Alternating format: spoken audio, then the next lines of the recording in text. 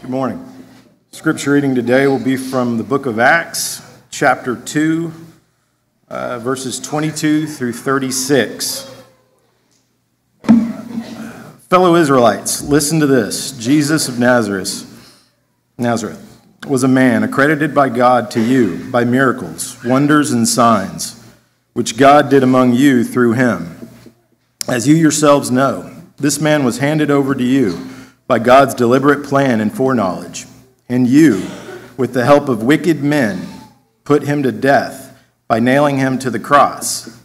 But God raised him from the dead, freeing him from the agony of death, because it was impossible for death to keep its hold on him. David said about him, I saw the Lord always before me. Before he is at my right hand, I will not be shaken. Therefore, my heart is glad, and my tongue rejoices. My body also will rest in hope, because you will not abandon me to the realm of the dead. You will not let your Holy One see decay. You have made known to me the paths of life. You will fill me with joy in your presence. Fellow Israelites, I can tell you confidently that the patriarch David died and was buried, and his tomb is here to this day. But he was a prophet and knew that God had promised him an oath that he would place one of his descendants on his throne. Seeing what was to come, he spoke of the resurrection of the Messiah, that he was not abandoned to the realm of the dead, nor did his body see decay. God has raised this Jesus to life, and we are all witnesses to, of it. Exalted to the right hand of God, he has received from the Father the promised Holy Spirit and has poured out what you now see and hear. For David did not ascend to heaven, and yet he said, The Lord, the Lord said to my Lord, Sit at my right hand until I make your enemies a footstool for your feet. Therefore, let all Israel be assured of this God has made this Jesus whom you crucified, both Lord and Messiah.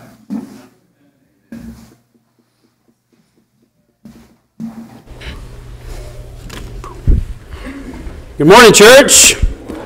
All right, uh, church, let's say again the verse that we just read. Thank you, Justin, for doing that. I know that was a long verse. A lot of times we give people five verses, and you had like 14. So thank you for your willingness to do that. But did you hear what he was reading? At the beginning of that passage, uh, it actually said, Listen to this. It wasn't just for the people that he was talking to there, that's God talking to us. And I pray, church, you were listening to this. You were listening to what the Holy Word just said about Jesus our Lord and how important that is for us. First, I want to thank Troy again for being such an awesome song leader, an awesome counterpart in ministry as well. Um, if you're not lifted up, if you're not just pumped up for Sunday, church, when you come together, when we come together on Sunday, it's Sunday. It's Sunday, not just the first day of the week, not just the day before we have to go back to work. Church, Sunday's so important. Sunday is the Lord's day, and not just the Lord's day that we're supposed to come and worship Him. Sunday's a reminder for us, church, a reminder of everything Justin just read for us. Thank you for lifting us up. Thank you for the songs that you sang. The last three that we just sang, one of those, so powerful in its words, and I was writing it down as we were singing, The Glory Land Way. Church, did you sing that with knowledge? Did you sing it with understanding? Did you mean what you said? I'm in the way, the bright and shining way. I'm in the glory land way, telling the world, church, that Jesus saves today. Yes, I'm in the glory land way. Church, how many of us? How many of us are singing, I'm in the way, I'm walking in the way, I'm walking toward the way. I cannot wait to get to Jesus, but I can't wait to tell people about Jesus either. Church, it's Sunday. It is Sunday. We're in the presence of God Almighty right now. Say amen. amen. We are with God Almighty right now as we sit in these pews. There's so much else going on in the world right now, and we get to be in the presence of our God. What a wonderful opportunity. We say it every week, don't we? We say it every single week. We come together. What a wonderful opportunity it is for the body of Christ to be gathered together to do what He's commanded us to worship. But, church, do we get it? Do we get what a truly wonderful opportunity? Not obligation, not just because it's a commandment, but truly out of love and understanding, do we know and recognize the opportunity it is to sit in these pews right now, to understand with the, the, the, the mind's heart that we are in the presence of the Creator Himself, the Creator who created us in His image, who breathed life into our lungs, and who gave us Jesus so that we could have heaven one day. If that doesn't excite you, if that's not something that you find anticipation in every single week, I don't know what can bring you hope. I don't know what can bring you glory. I don't know what can bring you excitement. There's a lot of things we all get excited about. I love this time of year because I'm a sports fan. My wife and I are sports fans. I love this time of year because every sport I love is on TV right now. But man, it's March Madness, isn't it? Oh, we love March Madness. Everybody's brackets and they're busted. I know, right? It happens. Happens every year. But if we get more excited about March Madness than we do Sunday, Church, it's time for us to think about what Sunday means. It's Sunday. I'm going to say it a bunch, not just to be redundant, but to provide reminder. Church, it is Sunday. If you're visiting with us, welcome. I'm so glad that you're here. If you're here for the very first time, maybe you just stopped in looking for hope, looking for a reason, looking for something to belong to. It's Sunday, and I'm so glad you're here on Sunday. If you're watching online, it's Sunday, and I'm so glad you're here on Sunday because Sunday means so much to the body of Jesus Christ because it tells us, it reminds us of the love that our Creator has for us, that we get to go and be with Him in heaven one day because of the blood of Jesus, the sacrifice of Jesus Himself in our place, that we could be forgiven of our sin. Church, don't let it go unnoticed. Don't let it go and just pass you by this morning as we anticipate all the events of the day, as we know what a busy day it is. Don't let this next hour, I'm not going to preach for an hour, I'm talking about the hour that we're together, don't let it pass you by. Don't miss it. Don't miss what Sunday is all about. We often talk about that. But, church, God is not only in our presence right now, God is working in this moment right now. God's working in my heart. God's working in your heart. I pray He's working in your heart. Are you going to let Him? Are you going to let Him? There's so much scripture to unpack this morning, and so we're going to reference a lot. We're going to reference a lot of things. We're not going to flip to a lot of things because if we were to do that, I will preach for an hour. And I don't want to get in trouble. So, yeah, so I'm not going to preach for an hour. Um, so I want you to go. Luke chapter 19. That's where we're going to be for the first part of our lesson, Luke chapter 19. We are going to be in the book of Luke the entire time. Won't make you flip around a whole bunch. We're going to start in Luke 19 because there's another reference to Sunday here.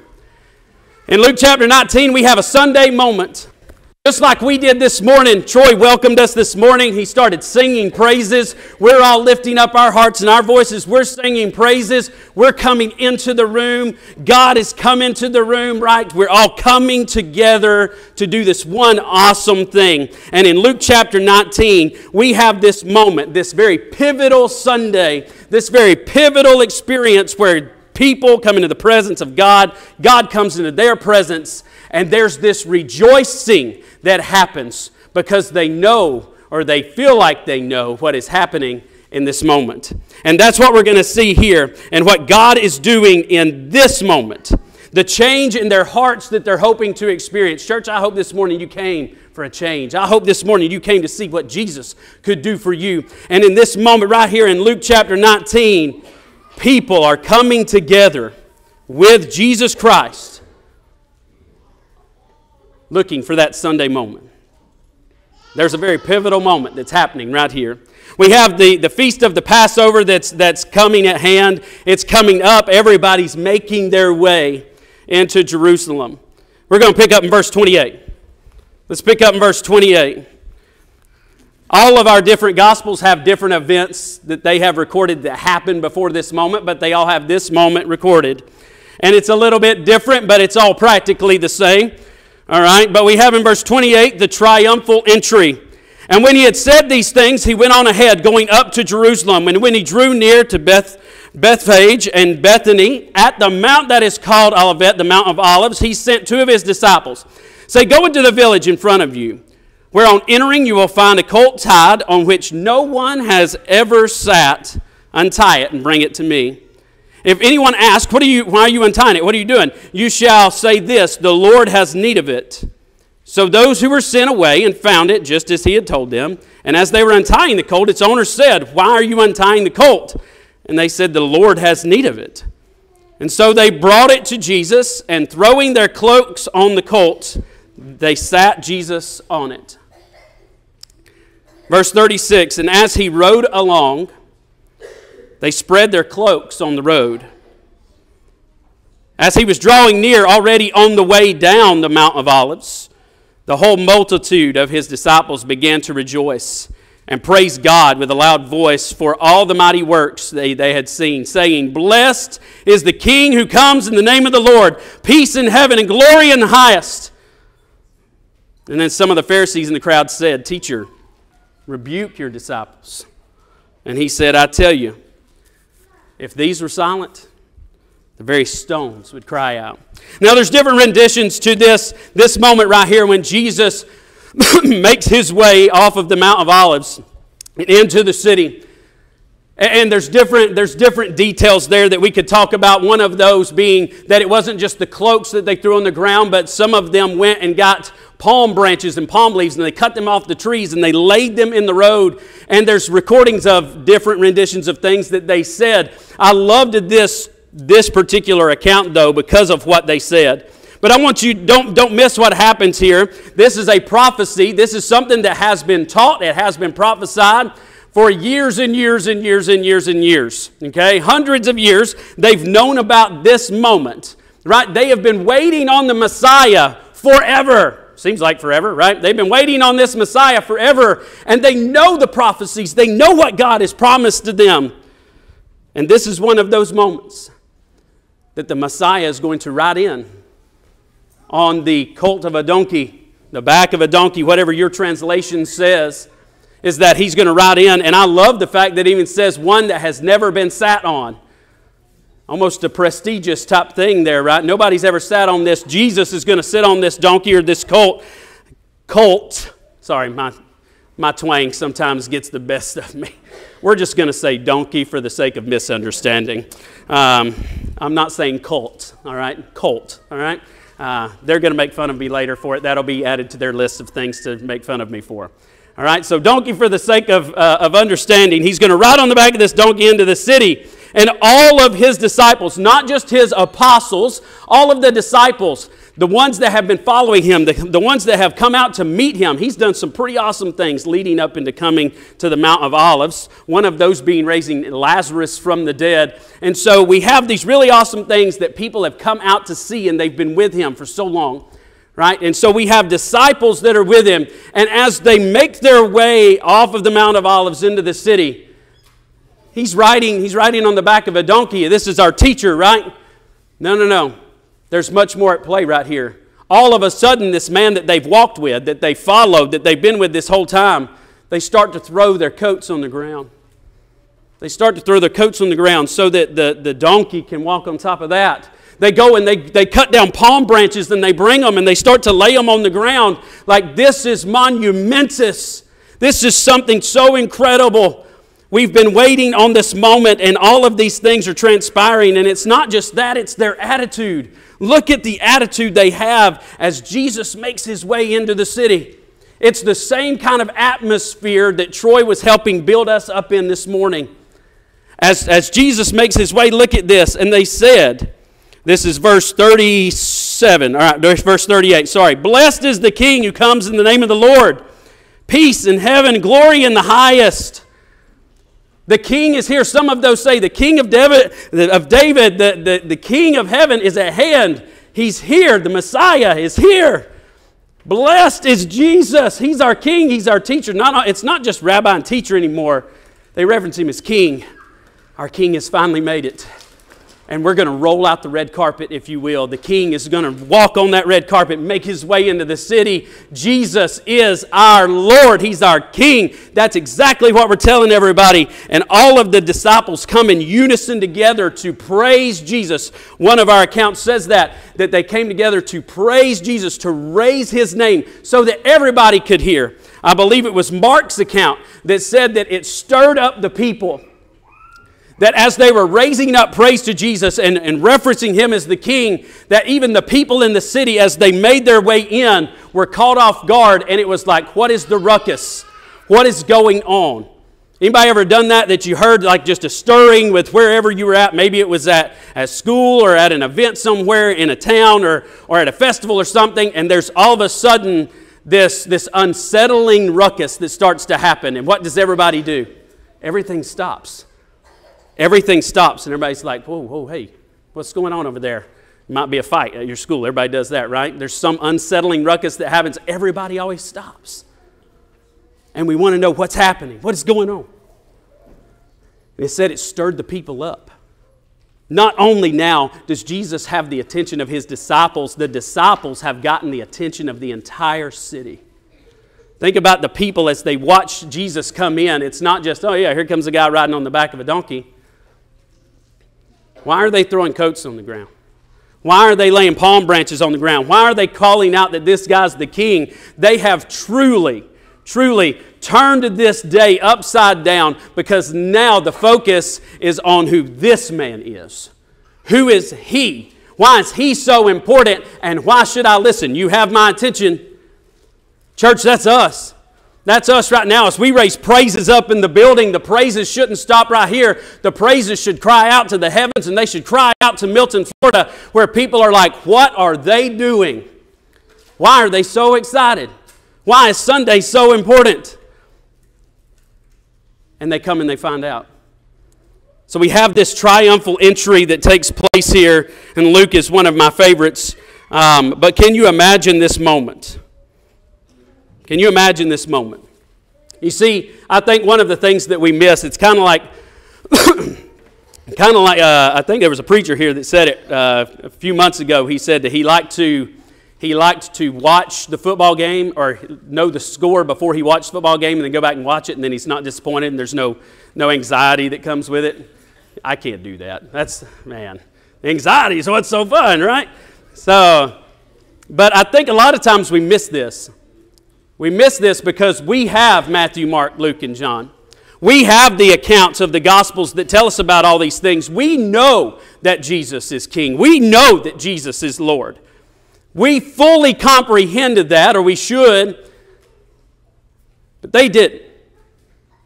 You see, we sometimes read the Bible through the lens of 2024. I want you to consider this moment if you had no idea, if you didn't know what was going on. Maybe this man has only been around and preaching for three years, and he's unsettled the people a little bit. There's this new thing that's happening. There's this new ideology that's being put into place. There's this man that's been healing people and raising people from the dead and forgiving people of their sins and talking about some of these more theological things as it pertains to God and heaven and eternity. And it's caught your attention, but you're not really sure why. Read it through that lens as this all transpires and this all takes place here. Church, the kingdom is at hand. It's not just coming to church on Sunday to remember this. This hasn't happened yet. This is about to happen, and they have no idea that it really is. They don't really comprehend this is about to happen, the representation of this. They have no idea what it means for them.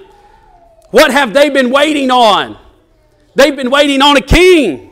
They've been waiting on a ruler. They've been waiting on Jerusalem to be put back where she rightfully belongs. They've been waiting on somebody to come, the Messiah to come, and make them God's people again. And they're going to be the people that rule the world.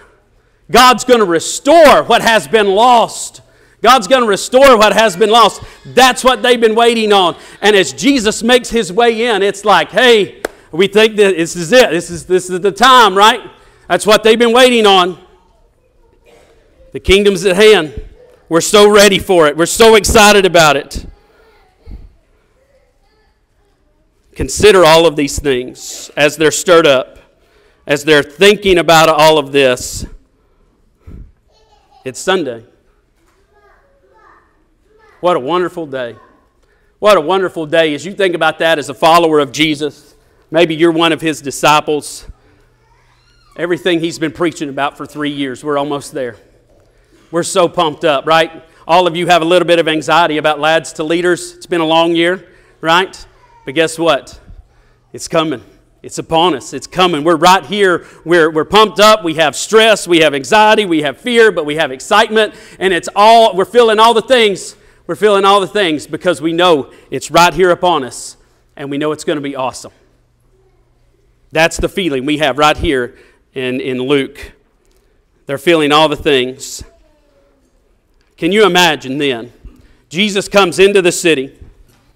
Jesus comes into the city. Everybody's so pumped up. Church, is Sunday. Everybody's so excited about Sunday. You know what? We're all going to be together all week. We're going to be together all week. This week is going to be off the hook, y'all. Jesus is here. The King is here. We get to spend all week with him. He's going to be here all week. Isn't it going to be great? It's going to be great. Let's look at how great it was. Let's look at how great it was. For the sake of time, I'm going to reference a few things. First thing he does, I love this in a couple of different things, a couple of different accounts. Jesus comes and he sees the city. As he's still on the Mount of Olives, he sees the city. And he looks upon it with compassion. This is one of those moments that Jesus is going to weep. He's going to have heartbreak because he knows they're lost, but he also knows what their response is going to be when he comes to bring them salvation. Jesus has a gut check moment here. But Jesus makes his way into the city, and most all of the accounts have this one. I love this one. Jesus makes his way into the city, and where's the first place he comes? For the sake of your understanding, he comes to church. Man, it's Sunday. Guess what? Tonight, Jesus is going to walk into that church building. Not really. He's already here. He's not going to come in person. Don't want to scare anybody. But Jesus is evening service. Jesus is going to walk in church tonight. What's he going to do? What's he going to say? How's he going to feel? Jesus went to church, y'all. You know what he did? He cleansed the temple. He walked into church and he found something that he never wanted to find. He walked into church and what he found was a group of religious people serving their own belly. Everything they were doing was about them. They had changed everything into a marketplace, if you will. Some of them were buying and selling. It was a marketplace. But the whole attitude, the whole aura, it was all about me. Everything should be about me. I'm here to make my money. I'm here to get my feel. I'm here for the people to do what I need them to do for me. That happens. That happens. Jesus walked into a situation of religious people where they had lost all concept of what the temple was for because all their mind was I'm here for me. I'm here to get what the church is supposed to give me.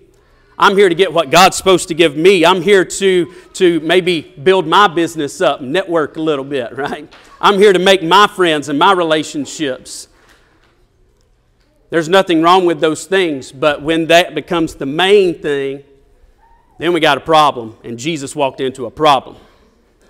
And so Jesus immediately comes in. They're so excited, remember? So excited. Jesus come to church with us today. And Jesus like, this ain't church. What y'all doing? What is this? What is it? Y'all got booths set up?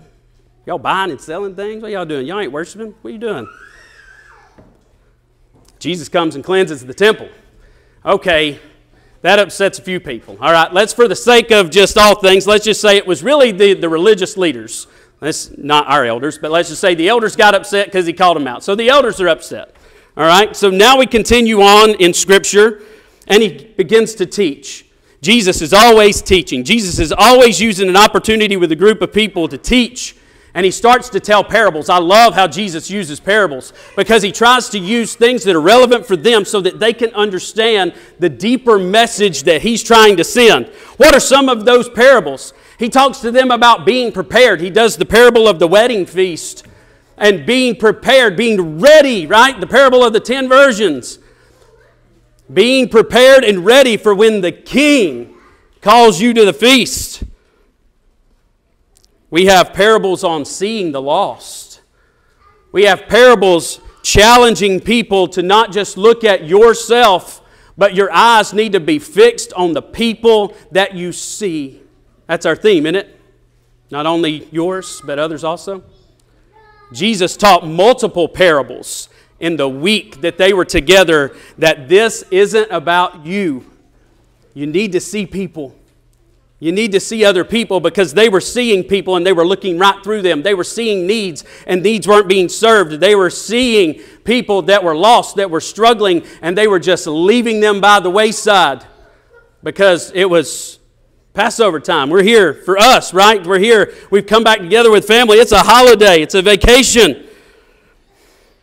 He challenges them with seeing the lost, he challenges them with forgiveness.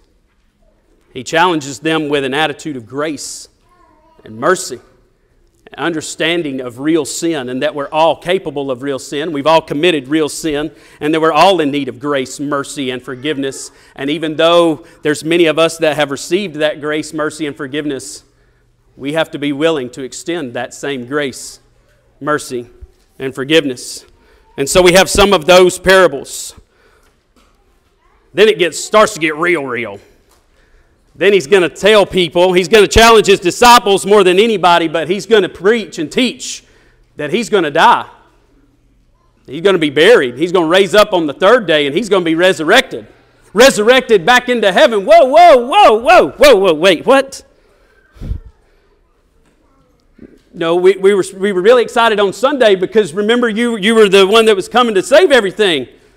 You were going to restore the lost. You were going to restore us to salvation. We were going to be who we were going to be. Right? We were going to take over the world again.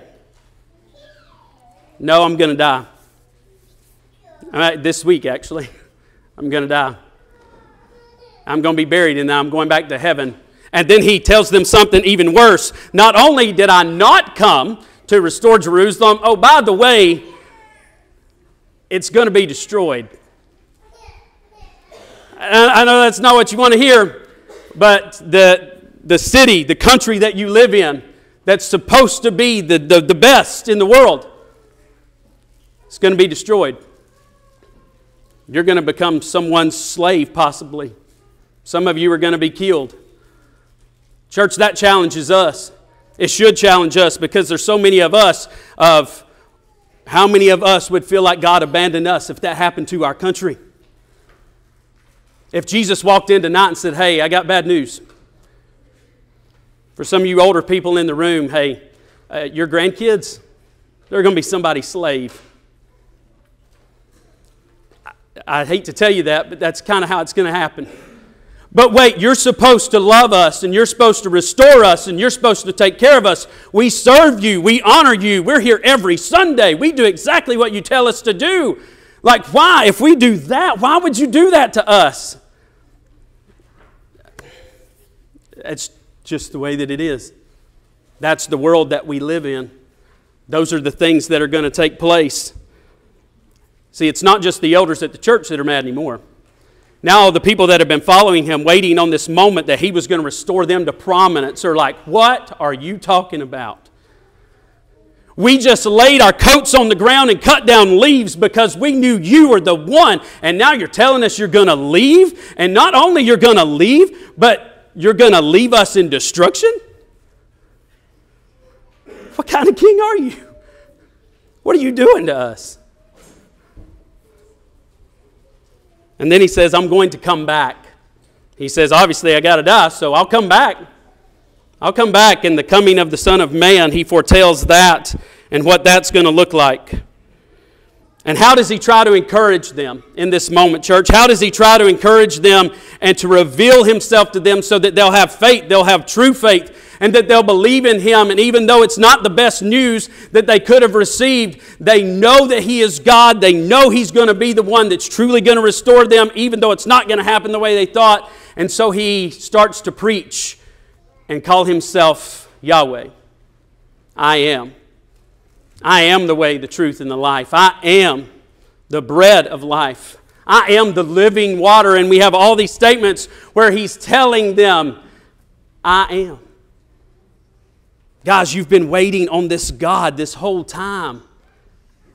I'm Him. Have faith. Take courage. Take courage, church.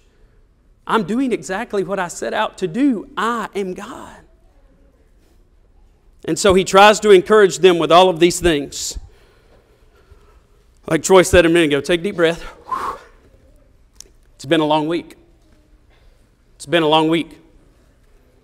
Go to Luke chapter 23.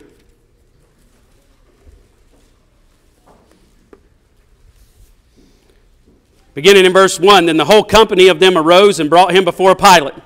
And they, they began to accuse him, saying, We found this man misleading our nation, forbidding us to give tribute to Caesar, saying that he himself is Christ, a king. And Pilate asked and said, Are you the king of the Jews? And he said, You've said so. And then Pilate said to the chief priest and the crowds, I find no guilt in the man. But they were urgent, saying, He stirs up the people, teaching throughout all Judea, from Galilee even to this place. And when Pilate heard this, he asked whether this man was a Galilean. And when he learned that he belonged to Herod's jurisdiction, he sent him over to Herod, who was himself in Jerusalem at the time. And when Herod saw Jesus, he was very glad, for he had long desired to see him, because he had heard about him. He was hoping to see some sign done by him. So he questioned him at some length, and Jesus made no answer. The chief priests and scribes stood by, vehemently accusing him. And Herod, with his soldiers, treated him with contempt and mocked him. And arraying him in a splendid clothing, they sent him back to Pilate. And Herod and Pilate became friends with each other that very day, for before this they had been at enmity with each other. Verse 13 Pilate then called together the chief priests and the rulers and the people. Don't miss it. And the people and said to them, You brought me this man as one who was misleading the people. And after examining him before you, behold, I did not find this man guilty of any of your charges. Neither did Herod, for he sent him back to us. Look, nothing deserving death has been done. Nothing deserving death has been done. I will therefore punish and release it. I'm going to do what I do, and that's going to be that. In verse 18, and they all cried out together, Away with this man! Release to us Barabbas, a man who had been thrown into prison for an insurrection started in the city and for murder. Pilate addressed them once more, desiring to release Jesus, but they kept shouting, Crucify him! Crucify him! And a third time he said, Why? Why? What evil has he done? I find no guilt in him deserving of death. I will therefore punish and release him. But they were urgent, demanding with loud cries that he should be crucified. And their voices prevailed. And Pilate decided that their demand should be granted. And he released the man who had been thrown into prison for insurrection and murder for whom they asked, but he delivered Jesus over to their will. This is like the most heartbreaking thing that we ever read in Scripture. There was a lot of people, religious leaders, that didn't like him to begin with. But now, church, it's Friday.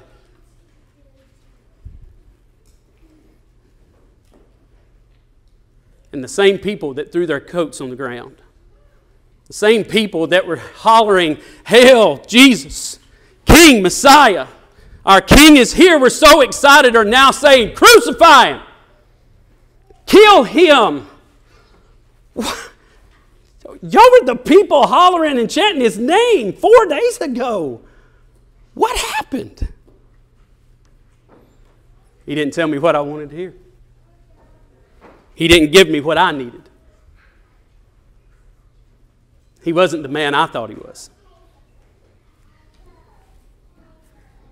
He came and he taught a lot of things, and we believed all this other stuff, and he misled us. He lied to us. He led us on. What do we have to do with him now? If he's just going to die and, and go back to God and resurrect and come back one day, what need do we have of him right now? Doesn't fit our agenda right now, does it? When's he going to come back? Not my lifetime. What good is Jesus to me? Wait, wait, wait. Whoa. so, a man that started an insurrection in the city and murdered people. This is the guy you want? Oh, yeah.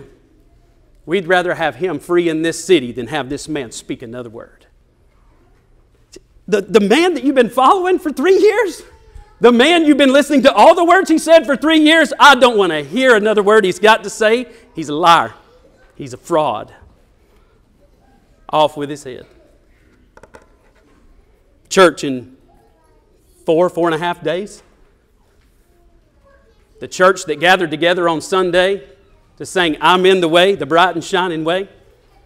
By Thursday, they're like, I don't want nothing to do with it. Who's Jesus? What is church?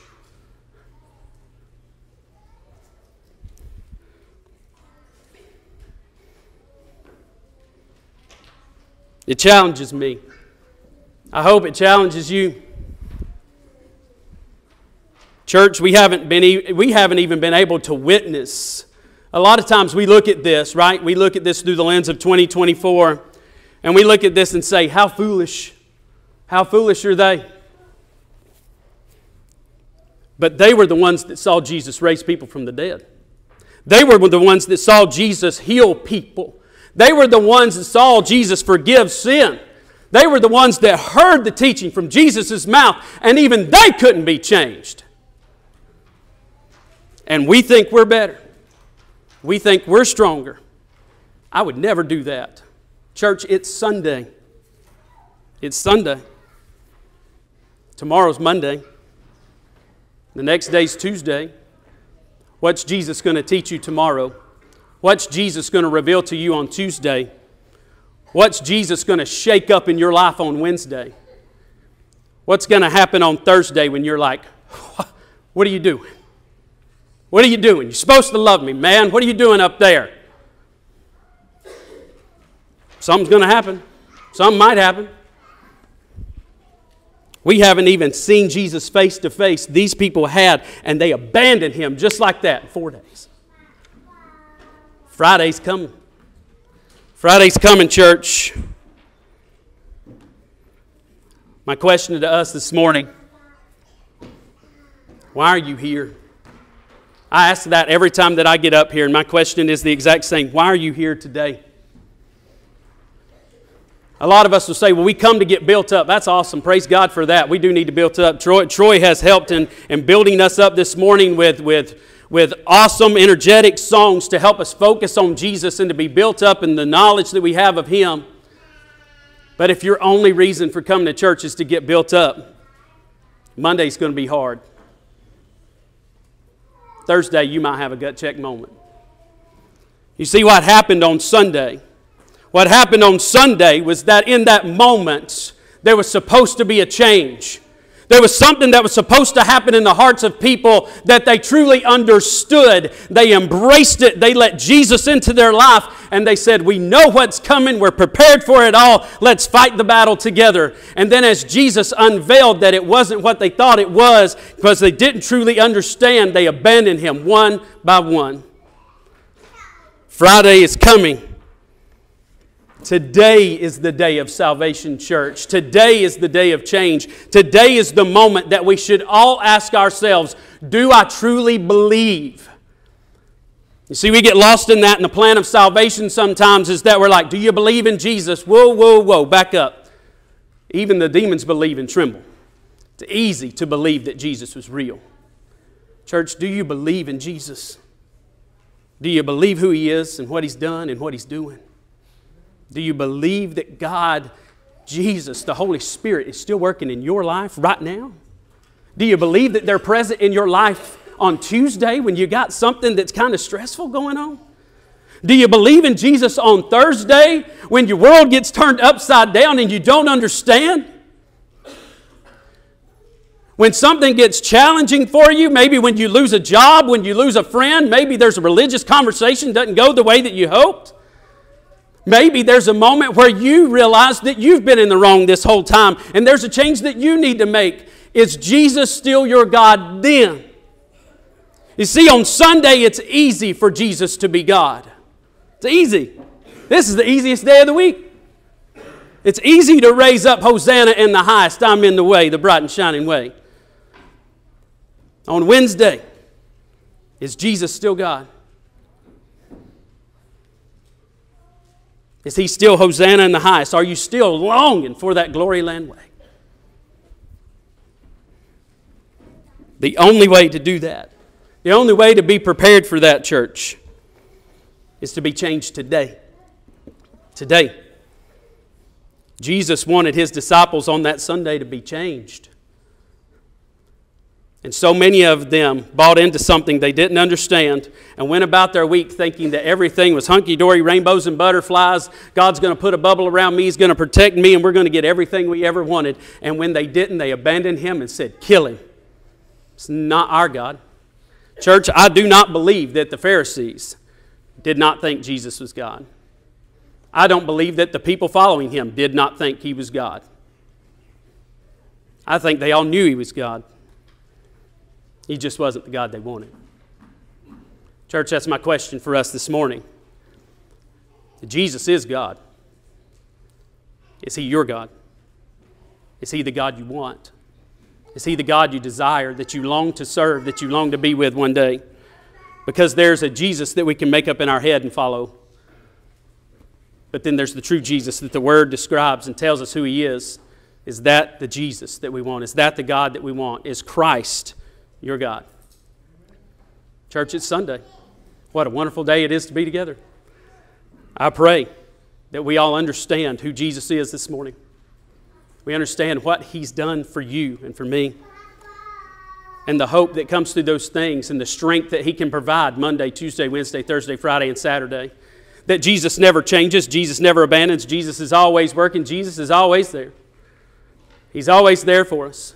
We talked in our Bible class this morning, Philippians 4:13, I can do all things through Christ who gives me strength. And the reason Paul said that is I can do all things because Jesus gives me strength.